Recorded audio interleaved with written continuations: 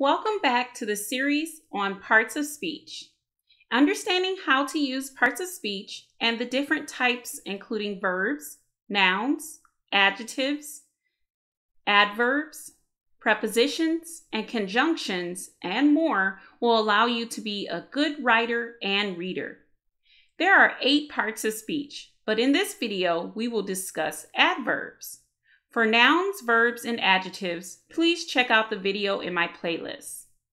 Please like and subscribe for more animated videos.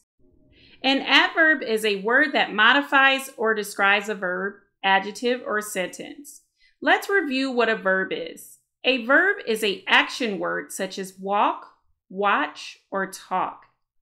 An adjective is a describing word.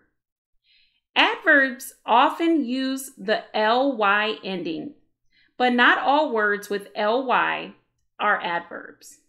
We will discuss that later on in the video. Some examples of adverbs are quickly, loudly, and softly.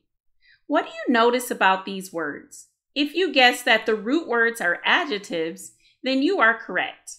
Adding the ly ending to the adjectives quick, loud, and soft gives, gives these words more meaning. More examples of adverbs include very tall, very short, and sings loudly. An adverb tells you more about a verb and an adjective by answering five questions how, when, where, how often, and to what extent. Take a look at the chart below. How refers to angrily, or hungrily. If you put this in a sentence to make it easier, we can say, We sat down and ate hungrily. Ask yourself, How did you eat? Hmm, hungrily. The second part of the chart answers when something occurred, and as you can see in the chart, the words yesterday and tomorrow are adverbs.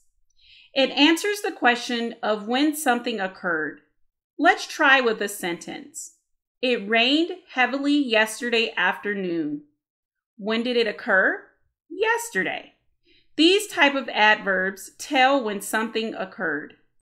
The third part of the chart tells where. These words include here and there as an example. How often something occurs are also adverbs such as always and never. The last part of the chart is to what extent and includes the words almost and very. There are more types of adverbs, but these are the most popular. Now let's practice to see if you can identify the adverbs in the sentences to follow. Remember that not all ly words are adverbs. Some examples of words that are not adverbs but have ly endings are multiply, apply, reply, lovely, ugly, family, jelly, and more. I want you to focus on the meaning of adverbs to help you determine what the adverbs are in our practice session coming up. Remember that adverbs describe or modifies a verb or adjective or sentence. Pause the video and try to come up with the answers beforehand. Sentence 1 Jacoby is extremely nice. Hmm, what do you think it is? Extremely is the adverb because it describes the word nice. Number two, he swims well. Well is the adverb because it describes the verb swim. Number three, he plays the flute beautifully. Hmm, what do you think it is? It's beautifully. Describes it describes how the flute is played. Number four, the dog was walking awkwardly. Hmm, what would really help us with this? Well, we know the verb is walk. How was the dog walking? Awkwardly. So, awkwardly is the adverb. Number five, Goldilocks went to the bear's house yesterday. Remember from our chart, we're talking about time. So the time in this sentence is yesterday. Number six, I will call you later. Again, this is talking about time. So which word is an adverb? If you've guessed later, then you are correct. Number seven, we take a vacation at least once annually. Again, this is time or frequency. How often do they take a vacation? Annually is the adverb. Number eight, nearly all of the students have bikes.